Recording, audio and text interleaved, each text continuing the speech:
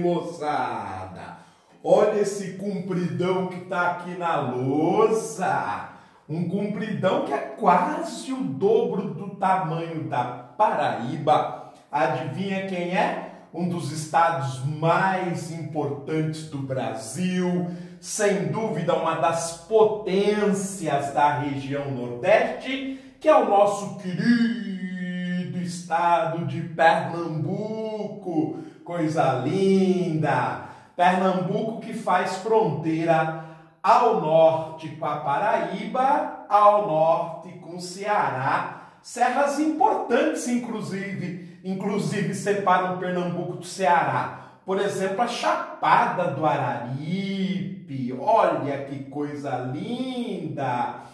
Um pouquinho mais a oeste, nós temos a separação com Piauí, a Serra do Inácio, dos Dois Irmãos, da Farinha. E a fronteira com a Bahia? Que coisa linda, gente! É o velho Chico, é o Minho Chico, é o Rio da Integração Nacional, é ele mesmo. O Rio São Francisco começa com uma represa, que é aqui a represa do Sobradinho, o maior lago artificial do Brasil, o segundo maior do mundo, e vai até a fronteira com Sergipe, Alagoas e a Bahia, a tríplice fronteira em que, a, em que Pernambuco, no município de Jatobá, se aproxima muito dessa tríplice fronteira, aqui que nós temos a chamar, o chamado Complexo Hidrelétrico de Paulo Afonso, quatro grandes hidrelétricas que servem ao Nordeste, sobretudo as grandes cidades como Fortaleza no Ceará, Recife aqui em Pernambuco e Salvador, a capital ali da Bahia. Estão vendo esta grande represa? É no Rio São Francisco, a segunda maior represa do Rio, que é a da hidrelétrica de Itaparica. Enorme, é represa de Itaparica. Então é um estado com uma variedade geográfica grande, com vários vizinhos, um, dois, três, quatro, cinco vizinhos, quase 100 mil quilômetros quadrados. Esse estado, então, que ele é um pouco maior que Portugal. Dá para acreditar numa coisa dessa? Onde nós temos municípios extremamente relevantes, como Petrolina, que é separado de Juazeiro pelo Rio São Francisco, é só atravessar uma ponte. Esta região que é extraordinária na produção da fruticultura, com destaque para a produção da uva. Temos municípios importantes, como é o caso de Salgueiro, Parnamirim no interior, município de Floresta, Petrolândia e, claro, a grande capital, uma das principais cidades brasileiras que é Recife. Ao lado de Recife, nós temos uma das maiores cidades do interior do país, que é Jaboatão dos Guararapes. Olha, inclusive, no detalhe, o arquipélago de Fernando de Noronha, que é um município do estado chamado de município de Vila dos Remédios. Bem, gente, eu espero que vocês então tenham apreciado, localizado, observado esse nosso querido estado de Pernambuco. Mas agora vamos aos dados para que a gente possa comparar Pernambuco com os demais estados brasileiros, sobretudo com os estados da região Nordeste. Lembrando que Pernambuco, pessoal, já é o sexto estado analisado na região. Só nos falta mais três: Alagoas, Sergipe e Bahia. A área, como nós vimos, é de quase 100 mil quilômetros quadrados, 40% do tamanho do estado de São Paulo, representando ligeiramente um pouco mais que 1% do território brasileiro é bastante dividido, são 185 municípios, como a gente viu, um território modesto, para uma divisão significativa ficar mais fácil de administrar. As áreas de conservação eu já fiquei um pouco mais animado, porque nos dois estados anteriores, a Paraíba e o Rio Grande do Norte, foram decepções. Agora nós temos uma área aí preservada de 5% do seu território. É pouco, mas é bem melhor do que os dois estados anteriores. A sua população ela se aproxima dos 10 milhões de habitantes, representando 4,5% da população brasileira, é um dos estados mais populosos. A taxa de analfabetismo, que são aquelas taxas que nos viram o estômago, que nos faz mal, ela é muito elevada, quase o dobro da média brasileira. Nós já sabemos que no Brasil ela é de 8,5%, elevadíssima para qualquer país emergente e no estado ela é de 15,3%, realmente algo de desanimar. Também não é um estado dos mais estudiosos, com oito anos ou mais de escolaridade, nós não temos 50% da, popula da população, embora no Brasil seja um pouquinho maior, que é de 55,4%. A taxa de mortalidade infantil, que é um descalabro, é óbvio que ela fica um pouquinho abaixo da média brasileira, só que a média brasileira é ruim, já que a taxa considerável, tolerável, aceitável pela Organização Mundial de Saúde é de 15 por mil, o estado é 14,9 por mil. Pelo menos um dos estados que nós estamos analisando na região Nordeste tem aí uma taxa de mortalidade infantil um pouco menor que a brasileira, embora bem pouco significante. No entanto, isso reflete o padrão econômico, a força econômica do Estado. O Estado tem um produto interno bruto superior a 350 bilhões de reais por ano, representando praticamente 3% da economia brasileira.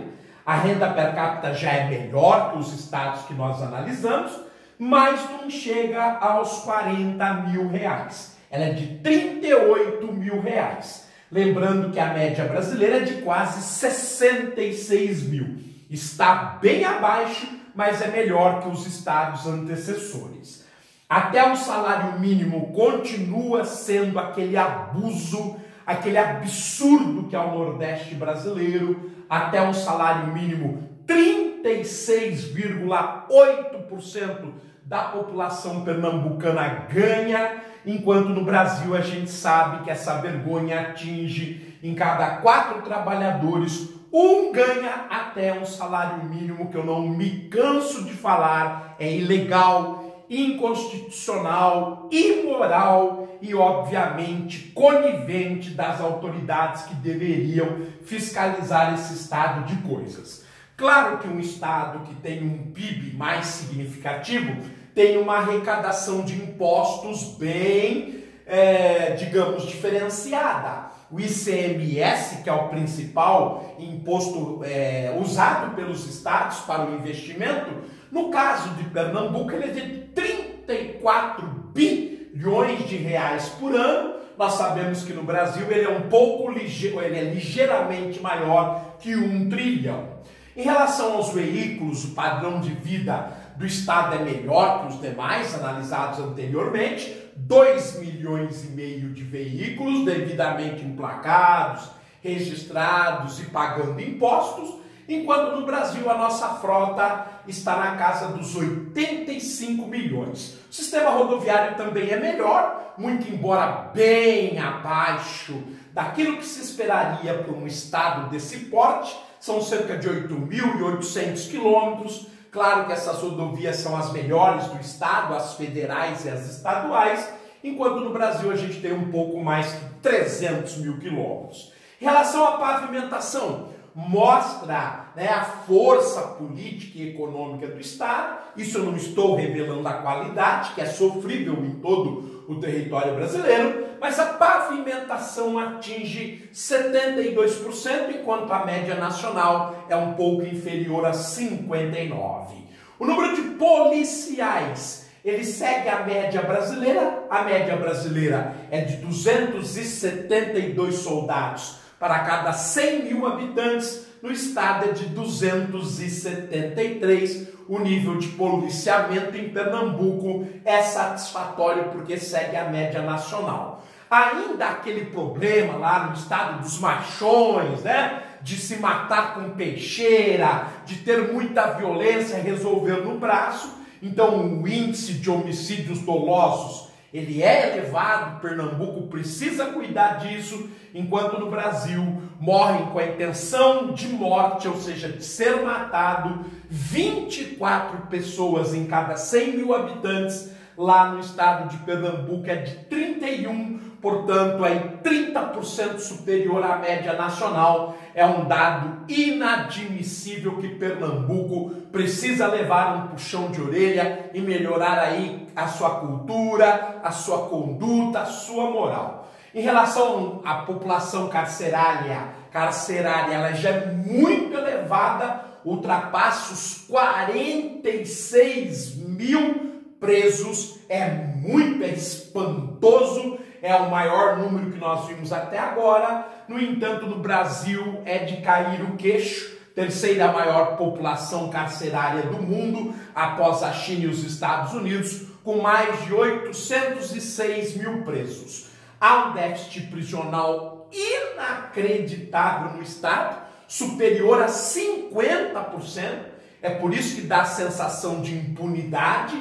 Para cada 46 mil presos, eu tive 29 mil crimes julgados, né? porém não cumpridos. Esses indivíduos não estão na cadeia. No Brasil é de 330 mil, praticamente 9% de todo o déficit prisional brasileiro está no estado de Pernambuco.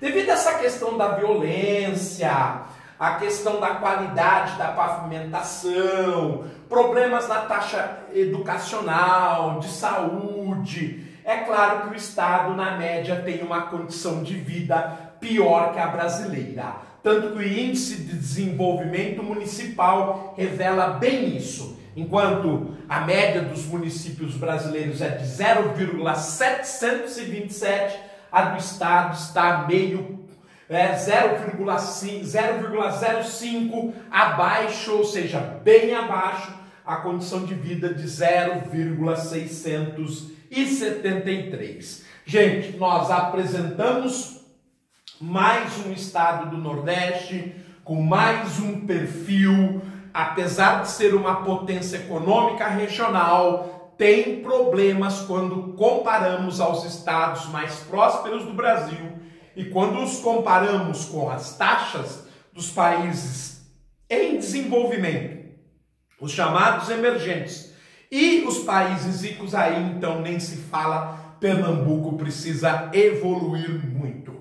Ficamos por aqui, deixamos um forte abraço, continue acompanhando o seu canal. Não esquece de deixar o like, de compartilhar nas redes sociais, de comentar e, obviamente, de chamar outros inscritos. Muito obrigado, gente.